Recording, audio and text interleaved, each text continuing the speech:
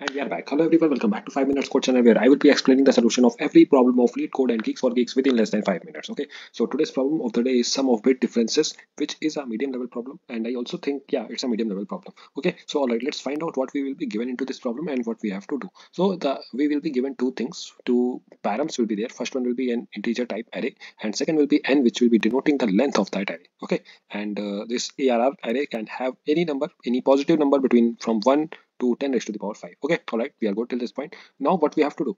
We have to return the sum of bit differences.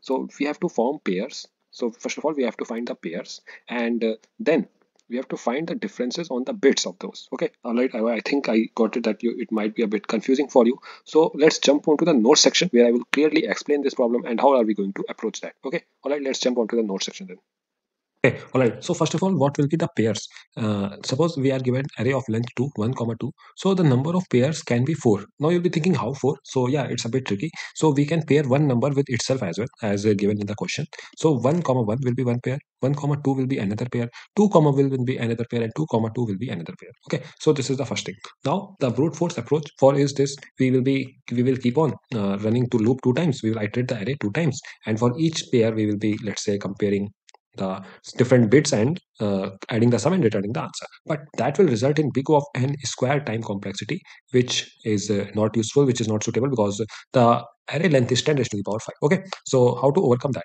Look, we know that in integer there can be 31 bits. Okay, so the length of integer can be at max 31. Okay, uh, if you will see the, say the count of digits. All right, so how can we counter this? So we will run a loop from 0 to 31 and and for each bit let's suppose at each let's suppose uh, in the zeroth bit in the zero bit there are two numbers which have one okay one and three numbers which have zero. So what can be the number of pairs? So two numbers with one and three numbers with the zero. So can we say the difference will be 2 into 3 2 into 3 how? Let's see. So first one will be 1 1 two pairs with the one.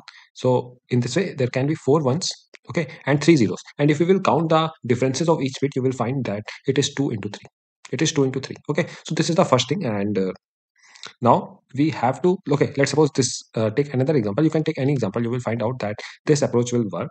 Uh, similarly let's suppose there is only two numbers with uh, which have one set bit and one number which have zero set bit. Okay so how many number of pairs it can form? Look uh, the number of pairs it can form is first one with one okay here the uh, will be 0 set bit difference will be 0 then another one with one. Okay. All right then first one with 0 then another one with 0 okay.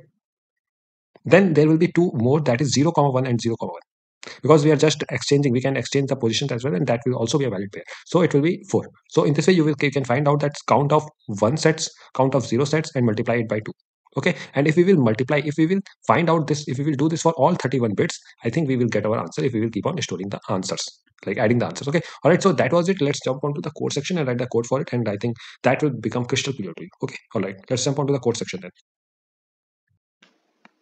Okay all right let's try the code for it and you will be amazed to see that how it can be so much easy. The code can be so much easy okay? So first of all i will simply do long answer equal to zero okay and after that uh, we have to return answer in, long.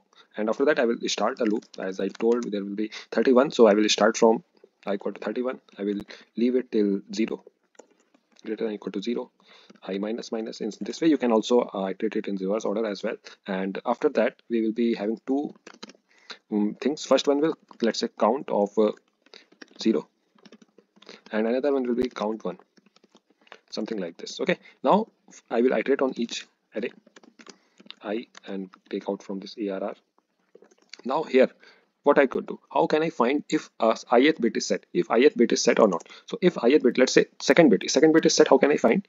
I will simply do i sorry uh, 1 right shift by i. It means I have reached so if I will do if I will be 2 here it means 1 0 0 okay this means this. And after that I have to check for uh, let's say uh, 5 so 5 binary is what? 101 so if I will do this and I will get something which is not equal to 0. I will get something which is not equal to 0. So in that case, uh, let me write it as well. So if 1 right pushed by i okay and I will do its j and and operator with j and uh, something like this okay and if it is greater than 0 if it is greater than 0 it means that bit is set okay i think i've messed it up something like this in this way you have to use you have to use uh, let's say uh, wrap these in brackets so that uh, the precedence doesn't do a issue. Okay so if it is one uh, if it is this so it means the bit is set. So i will do count plus plus. Else i will do uh, count of 0 plus plus. Okay and after that we just have to as i told we will be doing something like answer plus equal to 2 into 2 into what? 2 into count of 0 and multiply by it count by 1 so basically i'm doing it multiply by 2 because we are taking it something like uh, 1 comma 2 is a different pair and 2 comma 1 is a different pair okay that's why we have to multiply it by 2 otherwise it will be same otherwise we can only do count uh, 0 in count 1 and i'm and i'm expecting everyone is getting this so please let me know if you are not able to understand this because I think it should be clear now. So answer something like this. So what I'm saying is let's say once again, let me explain. So this set bit and all, look, if I will do something like one, two, and and I want to check if the second bit is set in this three or not. Okay, so it will be something like one zero zero and three is what? Three is zero one one. Okay, so in that case I will get zero. Why? Because I will only get non-zero when this bit, this bit, ith bit, which I'm checking here, is uh, set. If it is not set, if any other bit is set, it doesn't matter, I will get 0. And if it is not 0, if I'm not getting 0, it means this bit is set in the given number that is 3 or whatever I'm searching for. Okay. So something like this, if you will search for 4, you I will say. So in that case, I will get 100. If you will search for 6 as well, so I will get 110. Now in that case also, I will not get 0. I will get something like uh, 100 only. Okay. So that doesn't matter. I will only check for 0 so if it is greater than 0, it means that bit is set. So I will do count 1 plus plus. Otherwise, I will do count 0 plus plus. I have missed semicolon here. And I think now it's correct. And one thing is I should it should be having J, not I. Now I think let's submit it. I think it should get accepted now. Let's check this out.